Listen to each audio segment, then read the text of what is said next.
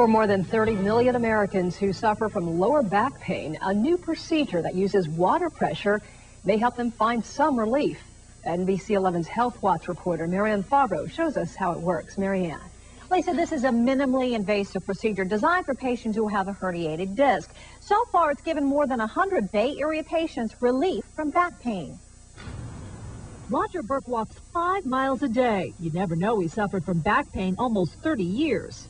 A lot of pain in the right leg and buttocks, uh, numb toes. I got to where I just didn't couldn't pick anything up. Hi, Roger. How you doing? Well, hello, Stanton. How are you? Fed up with the pain, Burke came to Dr. Stanton Schiffer in Fremont, who performed a minimally invasive procedure to treat his herniated discs.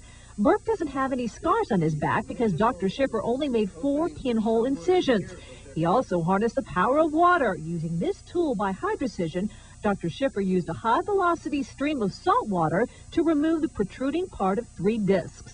I can decompress the average disc protrusion in probably about six minutes. Burke went home the same day and took a walk the next morning. No pain in the back at all.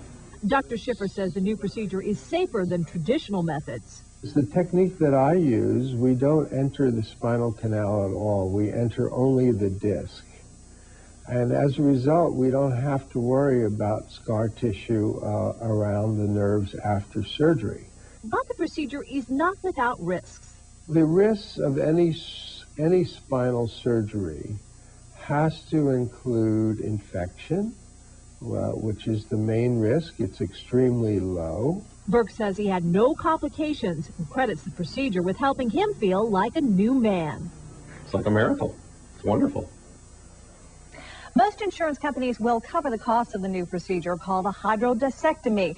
In the spirit of full disclosure, Dr. Schiffer now teaches other doctors how to perform the procedure, and he is paid by Hydrocision for that service. You can learn more about the procedure by going to NBC11.com and clicking Living Well. That's on the left side. Then look for back surgery under links. I'm Marianne Favro, NBC 11 News.